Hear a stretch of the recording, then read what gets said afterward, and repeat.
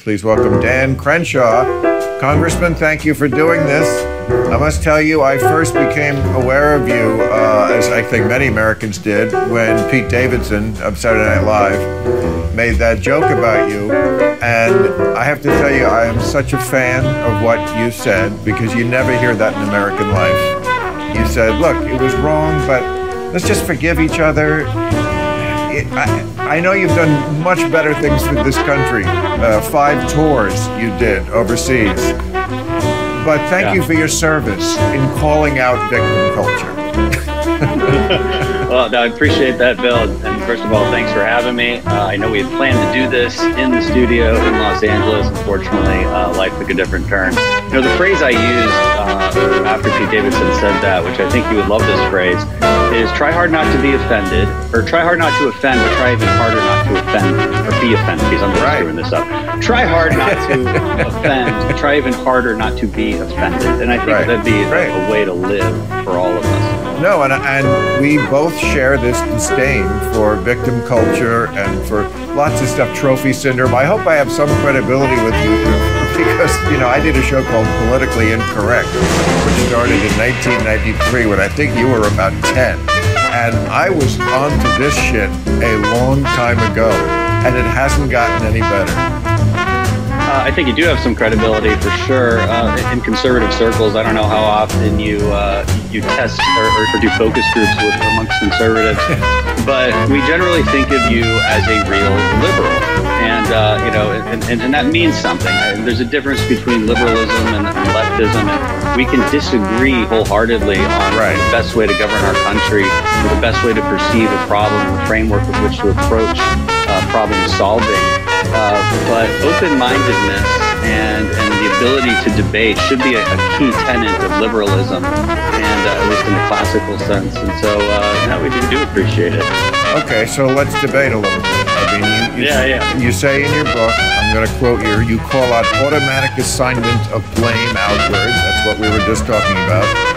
Help me understand how someone who calls out the outward assignment of blame can be such a supporter of a president who does nothing but pass the buck, lie, finger point, shirk responsibility. Uh, tell, tell me how you can support someone with your background, someone like that.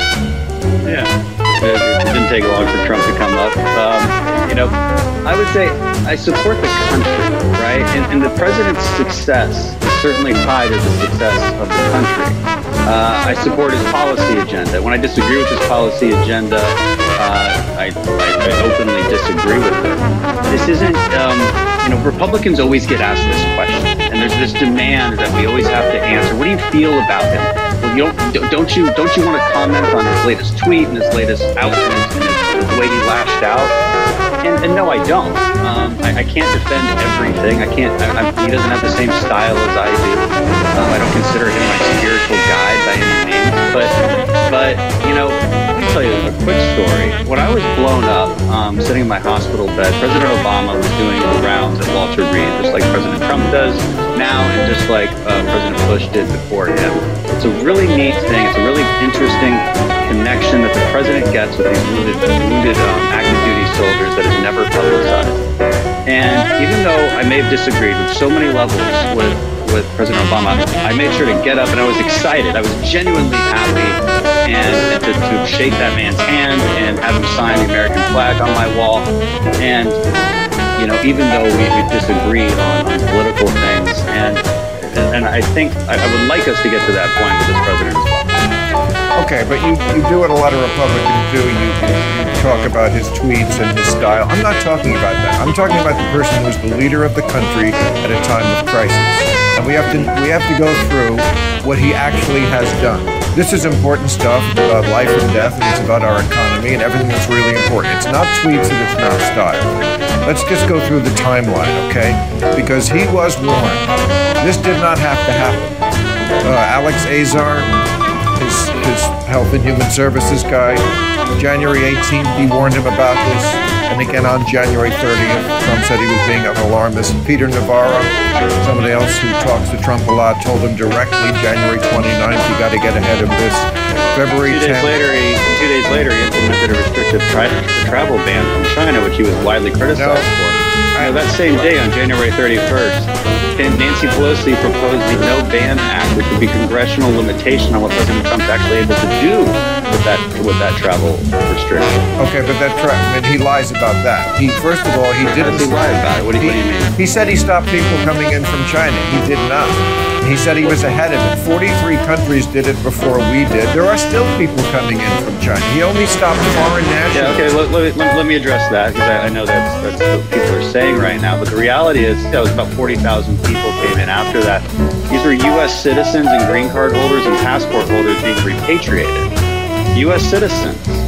So you have to make the argument then that, that we shouldn't allow them in. I mean, it, it sounds to me like you're fully agreeing with President Trump on this when everybody else disagreed with him. And, No, and if I- you're saying that you wish that, that that travel restriction had been more extreme, okay, fine. I mean, I, I, you apparently had the foresight back then but when nobody else did. But the fact is, you know, we, if Joe Biden was in charge at that moment, he's already said he wouldn't have done it. He criticized it at, at, the time. Nancy Pelosi actually proposed legislation to, to stop. Okay, So, but people you know, are but it- it- people are still coming in from, from China. It wasn't just foreign nationals, but let's get off that. Let me just go back to the timeline for a minute. Uh, February 10th, after these warnings, uh, he says it's going to go away in April with the heat uh, because he had a hunch. Uh, February 25th, he goes to India. This is four days after the White House coronavirus task force said we're going to have to lock down the country. And Dr. Nancy Messonnier, who's uh, in charge of the Center for Immunization and Res- Respiratory Diseases, wait a second, let me just finish. She announced this on the 26th. Uh, he uh, on the 25th that we were going to have to lock down the country. He said the next day 15 people have it, and it's soon going to be close to zero.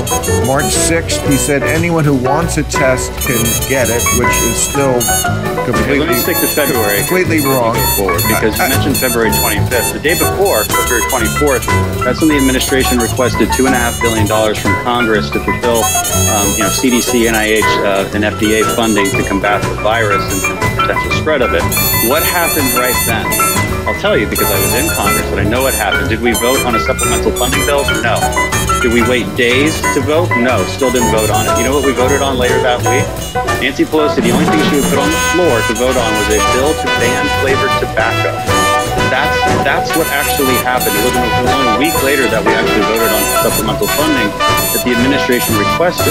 Your criticism appears to be based in one thing that Trump was overly optimistic. That's his style. You know, again, I, you can criticize it. That's fine.